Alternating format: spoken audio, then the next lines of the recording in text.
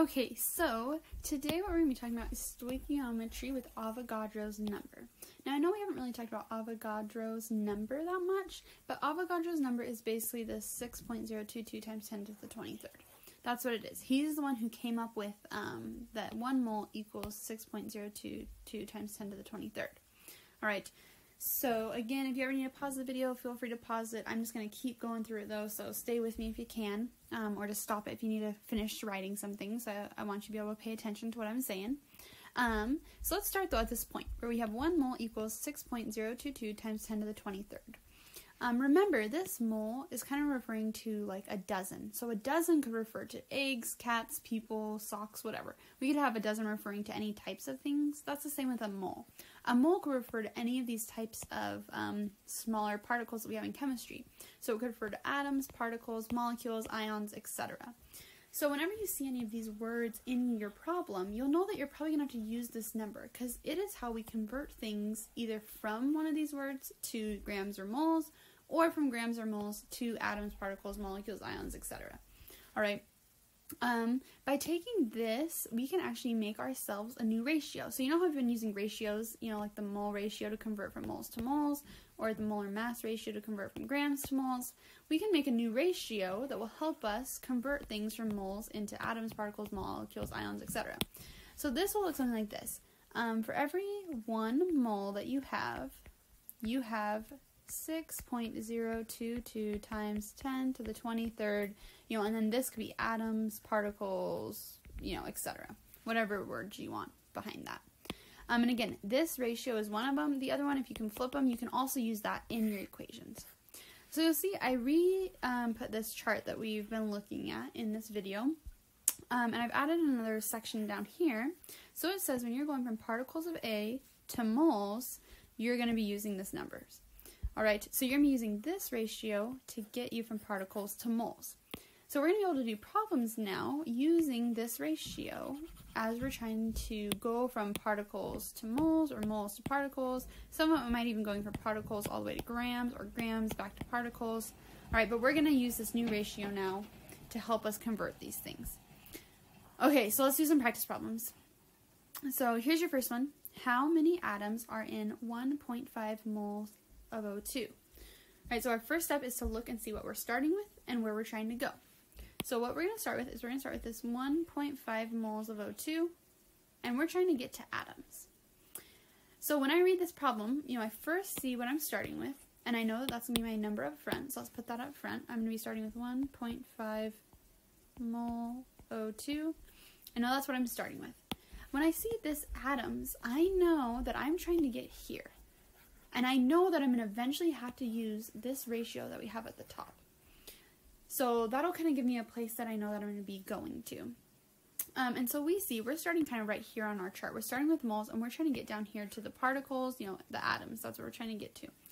And so starting with moles and to get down to this atom part, we're going to need to use a ratio using 6.022 times 10 to the 23rd. All right, so let's make our ratio and we need to decide what's going to be on top and what's going to be on bottom. So remember, whatever you put on bottom here, you want to cancel out with right here. So here we have moles of O2. So on bottom, we're going to want to put moles of O2 on the bottom. And on the top is what we want to end up with. So in this problem, it's just a straight one-step problem. We're going from here down to here. So on top, we want to end up with atoms of O2. All right, now to finish filling this out, um, using this ratio up here, we just put in those numbers. So we know that for 6.022 times 10 to the 23rd atoms, we can put that in. There's going to just be one mole.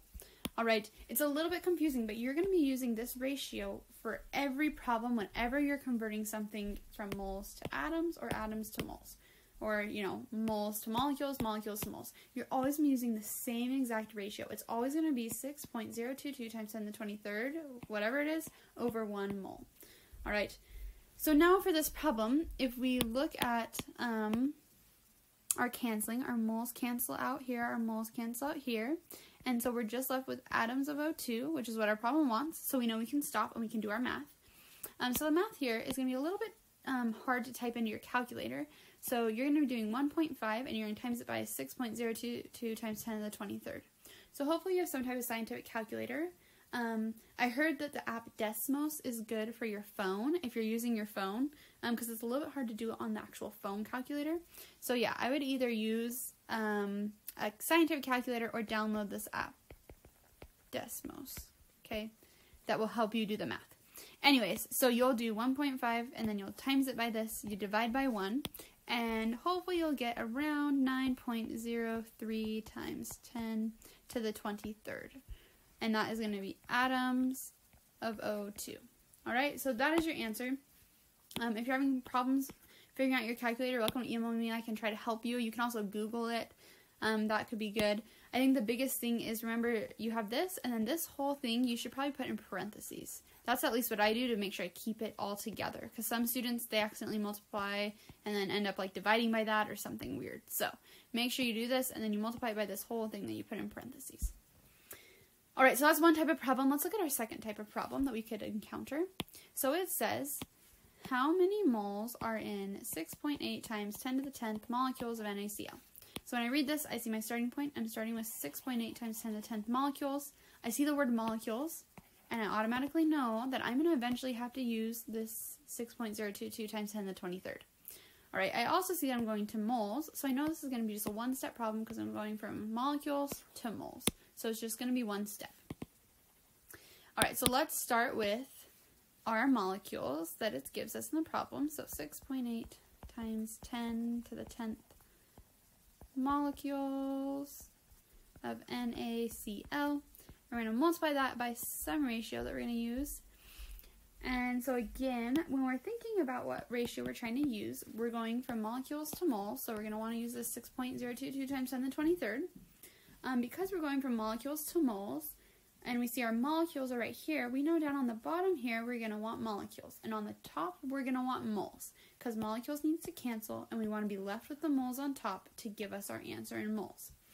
Alright, so on the bottom we're going to put our 6.022 times 10 to the 23rd molecules of NaCl and on the top we're going to use moles and remember this ratio is always going to be a 6.022 times 10 to the 23rd with 1. So you're always just going to have 1 mole for each thing. 1 mole of NaCl.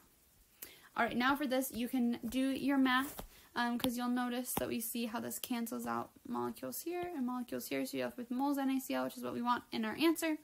Um, and if you do this math, again, it's a little bit tricky. You take this number and then you divide it by that number.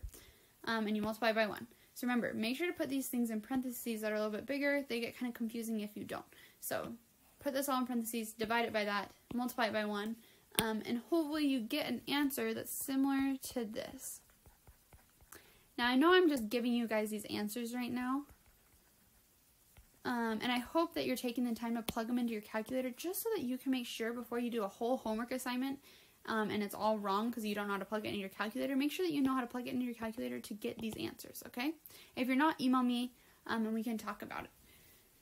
So, um, yeah, so you should end up with 1.133 times 10 to the negative 13th molecules of NaCl. That should be your answer. All right, this final one is the hardest one, all right? So it says if I have 7.7 times 10 to the 25th atoms how, of MgO, how many grams do I have? So you'll notice we're going to start with atoms. That's the number it gives us. And we're going to go to grams. So if we look at our chart up here, you'll see that we are starting down here and we're trying to get to grams, which is way over there. So we're starting here, we're trying to get over here, so we're going to have to do one step and then two steps. So we're going to have to change this into moles and then change it into grams. If you're ever confused what to do with most of these problems, if you change things into moles, then it will be easy to go back and forth between things. So we're going to have to change this to moles and then to grams. So let's get started with our number. Um, let me use a little bit thinner of a marker to get this problem hopefully to fit. 7.7 uh, times 10 to the 24 atoms of MgO is our starting, and we're going to multiply it by some ratio that we're going to have. Um, and again, we need to change it into moles. We see we have atoms here, so we want atoms on the bottom. We're trying to get it to moles, so we're going to put moles on top. So on the bottom, we're going to have the 6.022 times 10 to the 23rd atoms of MgO, and that's for every one mole of MgO. Again, this is kind of a constant um, ratio that we're going to use. You see how it kind of stays the same throughout all of our throughout all of our problems. All right, all of these kind of is the same thing. All right, so when we do that, we can see that our atoms cancel out, and so we're left with moles, and we want it in grams. So we actually need to change this now to grams. So we're going to multiply it by some ratio, and we're hoping to change it to grams. Um, so again, to do your grams, if you look back up at your chart up here, we're going from moles to grams. So we're going to use the molar mass from our periodic table. So you look up how much mg weighs, and you look up how much O weighs, and you add them together. And so you get around, um, let's see, 40.3 grams of MgO. That's about how much it weighs. Now remember, we're putting this on top because we're wanting to get to grams, so we put it on top. We know what we put on bottom because we want to cancel out with whatever's over here. So on bottom here, we want moles of MgO, okay, so we can cancel them out.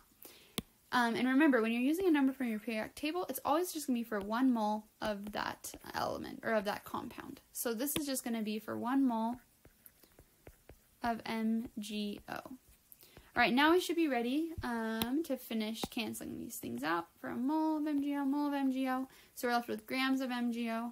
And now we need to do our math. Um, so we'll take the 7.7 times 10 to the 24th, times it by 1, divide it by 6.022 times 10 to the 23rd, and then multiply it by 40.3. And in the end, we should get about 151.3 grams of MgO. All right. Okay, so these problems are just like we've been doing. We're just always going to use these ratios um, again. And you know you need to use this if you're ever going to be dealing with atoms or molecules, or if you need to get to atoms or molecules, you know you're going to have to use some sort of ratio like these ones that we've seen here. All right. Um, you could also add onto your little chart thing, you can add this bottom part down here to help you know that this is um, the way to get um, from particles to moles is through the 6.022 times 10 to the 23rd, and that you'll have to do two steps to get to grams if you're starting with particles. All right, try to do that homework. Um, it's really similar to these problems, so come back and watch this or listen if you need help on it. Um, please feel free to email me if you get stuck. Um, I want to help you. We have about a, a, test in about a week and a half, um, so hopefully we can feel really prepared before that so that you guys can do super well on your tests and end up crushing this semester in chemistry. All right, good luck, guys. Hope to hear from you soon.